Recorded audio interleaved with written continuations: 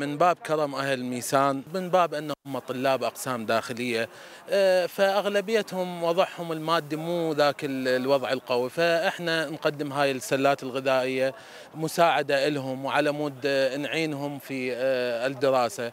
واليوم تعرفون أنه الدراسة شيء مهم بالنسبة للإنسان.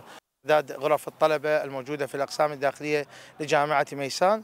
آه، وقامت المؤسسة مشكورة بتجهيز السلات الغذائية لتغطية جميع الأقسام الداخلية في الجامعة من طلبة وطالبات آه، كمعونة خلال شهر رمضان المبارك وكصورة تعكس الكرم الميساني لأهالي المحافظات. اليوم هيك مبادرات إنسانية جاي نشوفها توزيع سلات غذائية والأطعمة بمحافظة ميسان.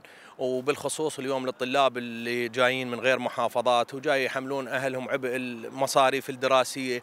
اليوم يحتاجون لهاي السلات الغذائية وهذا مثل ما تعرف أستاذ العزيز هذا عمل مؤسسات حكومية المفروض اليوم مثل ما جاي تشوف جاي تقوم بناس ومؤسسات مدنية مستقلة غير تابعة لجهات حكومية جاي تقوم بهذا العمل. واليوم غلاء الأسعار لا تنسى بالخصوص بشهر رمضان دائما إحنا نواجه غلاء الأسعار ارتفاع الأسعار من قبل التجار المتلاعبين بالأسعار.